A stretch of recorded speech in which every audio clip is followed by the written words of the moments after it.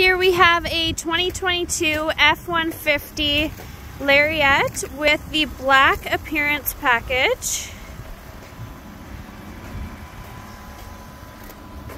Five liter keyless entry.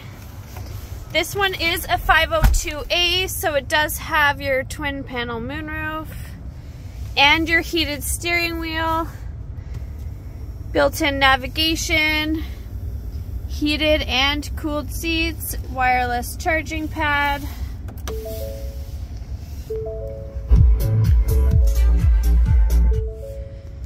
adaptive cruise control, lane keeping. The interior is all black. I know you didn't like that brown.